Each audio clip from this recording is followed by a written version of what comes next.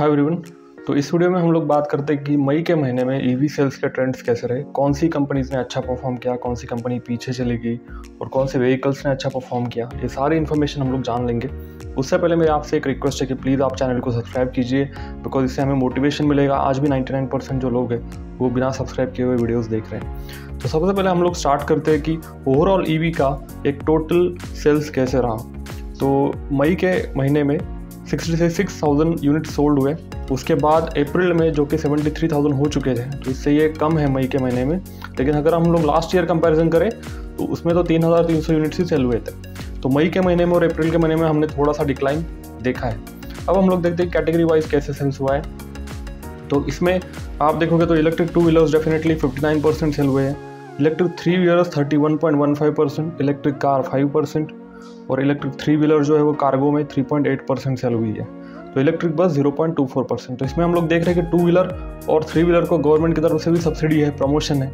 इसलिए इस सेगमेंट में हम लोग ज़्यादा सेल देख पाते हैं। अब देखते हैं कि कौन से ऐसे राज्य थे जिन्होंने बहुत अच्छा जिनमें बहुत अच्छा ई वी सेल्स हुआ है। तो उसमें आपका उत्तर प्रदेश 18 परसेंट, ये लगातार बना हुआ है फ़र्स्ट पोजीशन पे। महाराष्ट्र है 15 परसेंट, कर्नाटका 10 परसेंट है। राजस्थान 8 परसेंट है। गुजरात 7 परसेंट है। तमिलनाडु 6 परसेंट है। दिल्ली में पाँच परसेंट सेल हुआ है। ये थोड़ा देखना पड़ेगा दिल्ली में इतना कम क्यों है। बिहार में पाँच परसेंट है। उसके बाद हम लोग आगे चलते हैं। तो बाकी जो स्टेट्स है, आसाम में पाँच परसेंट है। तो जो हिमालयन स्टेट्स है और नॉर्थ ईस्टर्न स्टेट्स है, उनमें अभी भी ईवी का कवरेज होना बाकी है। तो कंपनीज़ ने इसकी तरफ़ ज़रूर ज़रूर ध्यान देना चाहिए कि टॉप सिटीज़ या फिर मेट्रो सिटीज़ को छोड़ के भी कुछ और सिटीज़ जो है, वहाँ पे भी ईवीज़ में थोड़ा सा पेनिट्रेशन करना चाहिए ताकि उनका बिज़नेस अच्छा हो और ओवरऑल लोगों का भी जो परसेप्शन है, वो चेंज हो। और बहुत लोग जो है वो अडॉप्ट कर पाए क्योंकि उस एरिया में भी बहुत डिमांड है लोगों को। लेकिन ईवी कंपनीज़ थोड़ा सा फोकस कर रही है टॉप सिटीज़ में। तो आगे चल के हम लोग देखते हैं। तो अब हम बात करते हैं कि जो सबसे बड़ा जो सेगमेंट है वो है इलेक्ट्रिक टू व्हीलर्स का। तो टू व्हीलर्स में कैसे परफॉर्म किया है और ओवरऑल जो सेल्स हुए वो कितने हुए हैं? तो इलेक्ट्रिक टू व्हीलर के तकरीबन 39,000 यूनिट्स बिके हैं मई के महीने में जो कि ऑब्वियसली कम रहेंगे अप्रैल के महीने से। 10,000 यूनिट्स कम बिके हैं मई के महीने में। और लास्ट ईयर अगर हम लोग कंपेयर करेंगे तो एक हज़ार छब्बीस यूनिट्स बिक पाए थे, मई 2021 में। तो तकरीबन 40 गुना ज़्यादा इंप्रूवमेंट हुआ है सेल्स में टू व्हीलर्स के। तो आगे चल के हम लोग देखते हैं कि ओवरऑल जो कंपनीज़ है बड़ी बड़ी कंपनीज़ है, जिस इलेक्ट्रिक टू व्हीलर मार्केट में, उनकी पोजीशन कैसे रही है? उसके बारे में हम लोग थोड़ा सा जान लेते हैं। तो नंबर वन पोजीशन पे है ओकीनावा। ओकीनावा लास्ट टाइम जो है वो नंबर थ्री पोजीशन पे थी। इस बार वो नंबर वन पोजीशन पे आ चुके हैं। नौ हज़ार दो सौ यूनिट्स बिके हैं। इस कंपनी का एडवांटेज ये है कि सर्विस नेटवर्क और वैरायटी ऑफ़ व्हीकल्स है। बहुत वैरायटी है व्हीकल्स में आपको बहुत अफोर्डेबल प्राइस में व्हीकल मिल पाते हैं। अब दूसरे नंबर पे देखते हैं तो डेफिनेटली ओला इलेक्ट्रिक है जो लास्ट मंथ टॉप पोजीशन पे था, इस महीने में इसके nine nine thousand one fifty units जो है वो बिक पाए हैं। और ये तो अगर ओला एस वन को लेके आता है तो डेफिनेटली मुझे लगता है सेल्स बढ़ेंगे और डिलीवरीज अगर फास्ट करता है तो भी इनके सेल्स में इंप्रूवमेंट देखी जाएगी। अब तीसरे नंबर पे आते हैं तो इसमें है एम्पेयर का पाँच हज़ार नौ सौ यूनिट इसके बिके हैं लास्ट मंथ में और डेफिनेटली इनका जो एडवांटेज है, वो ये है कि ये काफ़ी ओल्ड प्लेयर है। काफ़ी इन्होंने इंप्रूव किया है over the period of time और लोगों का भी ट्रस्ट जो है वो बना हुआ है। इनका भी सबसे अच्छी बात यह है कि ये प्रीमियम सेगमेंट में डील नहीं करते। ये ज़्यादातर स्कूटर जो है वो अफोर्डेबल सेगमेंट में जो है वो सेल करते हैं। तो डेफिनेटली उस सेगमेंट में भी बहुत सारे लोग हैं जो स्कूटर के साथ एक्सपेरिमेंट करना चाहते हैं स्कूटर को लेना चाहते हैं। तो ये भी डेफिनेटली इनके लिए एक प्लस पॉइंट बना हुआ है।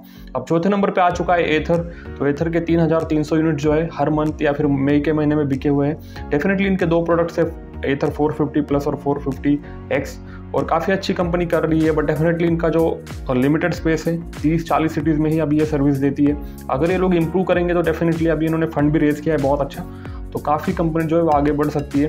इससे हमें एक पता चलता है ना कि टॉप फाइव में दो तीन कंपनी ऐसी जो प्रीमियम सेगमेंट में डील करती है। ओला हो गई एथर हो गई, फिर भी लोग लेना चाहते हैं इनको तो डेफिनेटली ये काफ़ी एक अच्छा पॉइंट है। नंबर पाँच पे जो हीरो इलेक्ट्रिक है, ये एक्चुअली दो महीने पहले कंपनी टॉप पोजीशन पे थी, अभी ये पाँचवें पोजीशन पे आ चुकी है। दो हज़ार नौ सौ यूनिट्स कंपनी ने जो है वो बेचे मई के महीने में। इनके पास भी एक लाख से नीचे ही सारे स्कूटर है। और वैरायटी अवेलेबल है आपको कि बहुत अच्छा रेंज स्कूटर्स देते हैं और काफ़ी अफोर्डेबल है। सर्विस नेटवर्क बड़ा है ब्रांड नेम ज़्यादा अच्छा है।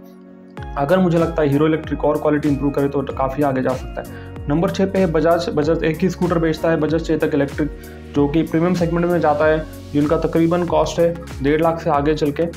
स्कूटर की जो बिल्ड क्वालिटी है, वो काफ़ी अच्छी है यूटिलिटी वैल्यू अच्छा है, लेकिन फीचर जो है वो कम है एज़ कंपेयर टू जो प्रीमियम सेगमेंट में जो व्हीकल्स आते हैं, जैसे ओला हो गया या फिर एथर हो गया।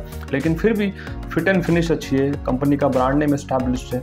तो ये कंपनी आ चुकी है छठे पोजीशन पे 1600 यूनिट्स के साथ। तो डेफिनेटली बहुत सारे कस्टमर ऐसे हैं जो थोड़ा सा नई कंपनी से डरते हैं, वो टीवीएस और बजाज के ऊपर जाना पसंद करते हैं। तो कंपनी ने डेफिनेटली इसमें थोड़ा वेरिएशन लाना चाहिए अफोर्डेबल सेगमेंट में अगर कंपनी आती है तो डेफिनेटली ये काफ़ी अच्छा ग्रो कर सकते हैं। सातवें नंबर पर आती है रिवोल्ट रिवोल्ट के पंद्रह यूनिट बिके हैं। ये कंपनी मोस्टली डील करती है ई बाइक्स में। तो काफ़ी फ़ेमस कंपनी है। एक्चुअली ई बाइक्स में बहुत ही कम लिमिटेड चॉइसेस यूज़र के लिए। लेकिन फिर भी ये बहुत अच्छा सेल है 1500 यूनिट्स का। क्योंकि बहुत सारे लोग प्रेफर करते हैं कि इलेक्ट्रिक स्कूटर ले। लेकिन ई बाइक सेगमेंट में जो है, वो डेफिनेटली अभी, जो रुझान है लोगों का, वो बढ़ रहा है। तो आगे चल के हम लोग बात करते हैं प्योर ईवी के बारे में। तो प्योर ईवी आठवें नंबर पे है चौदह यूनिट कंपनी ने बेचे लगभग। तो ये भी कंपनी जो है डेफिनेटली एक अच्छा ब्रांड नेम है अच्छा सर्विस नेटवर्क है और ये भी आपको अफोर्डेबल स्कूटर जो है, वो दे देती है। तो बहुत सारे कस्टमर है जो एक लाख से नीचे जिनका बजट है, वो इस स्कूटर के ऊपर चले जाते हैं और काफ़ी अच्छे डिसेंट फीचर आपको इसमें मिल जाते हैं। अब हम लोग देखते हैं, नौवे नंबर पे है जितेंद्र ईवी जो कि सात सौ यूनिट बेच के इस नंबर पे है। अब उसके आगे हम लोग देखते हैं तो दसवें नंबर पे जो है, वो है टी वी एस छः सौ यूनिट सिर्फ़ बिके हैं, मई के महीने में। टेंथ पोजीशन पे है। ये अभी नए वेरिएंट्स इन्होंने लॉन्च किए तो देखते हैं अगले महीने में शायद इनका पोजीशन जो है, वो ऊपर चला जाए। तो हम लोग कार के बारे में बात करते हैं तो ई कार सेगमेंट में नंबर वन पे है टाटा इलेक्ट्रिक जिनके पास दो व्हीकल्स है टाटा टिगोर और टाटा नेक्सॉन और टाटा नेक्सॉन ई मैक्स और सबसे बड़ी है सिक्सटी परसेंट मार्केट शेयर है, तीन हज़ार तीन सौ यूनिट्स एवरी मंथ कंपनी बेच रही है। मई के महीने में इनका तीन हज़ार तीन सौ यूनिट का सेल हो चुका है।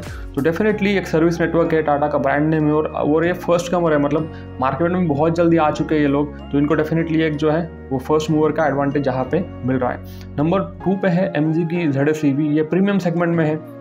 तकरीबन अट्ठाईस twenty eight twenty nine lakh से ये कार जो है वो स्टार्ट होती है। और 250 यूनिट इनके भी बिके हैं। तो डेफिनेटली थ्री फिगर नंबर है और कंपनी के बारे में एक भी नेगेटिव फीडबैक आपको ढूंढ के भी नहीं मिलेगा इस कार के बारे में। डेफिनेटली अगर ये कंपनी आती है अपने अपने बजट सेगमेंट में तो डेफिनेटली काफ़ी इंप्रूव करेगी। अब अदर्स को देखते हैं हम लोग तो अदर्स तकरीबन सौ यूनिट्स बिके हैं, जिसमें आपकी हुंडे की कोना है और प्रीमियम सेगमेंट जैसे पॉर्श हो गया बी हो गई मर्सडीज हो गई, ये सारी कारें जो है वो आती है सेगमेंट में। उनके तकरीबन सब मिला के सौ यूनिट्स ही बिक पाए हैं। बिकॉज़ ऑफ़ ऑब्वियसली जो सेगमेंट वो काफ़ी प्रीमियम है और काफ़ी कम लोग हैं जो प्रेफर करते हैं उस सेगमेंट में कार को परचेस करना। तो यही था ओवरऑल जो हमारा इस महीने का या फिर लास्ट मंथ का जो सेल है उसके बारे में। तो डेफिनेटली हम लोग ऐसी वीडियोस बनाते रहेंगे आपके लिए। तो प्लीज़ चैनल को सब्सक्राइब कीजिए लाइक कीजिए कमेंट कीजिए। So thank you for watching this video guys thank you bye bye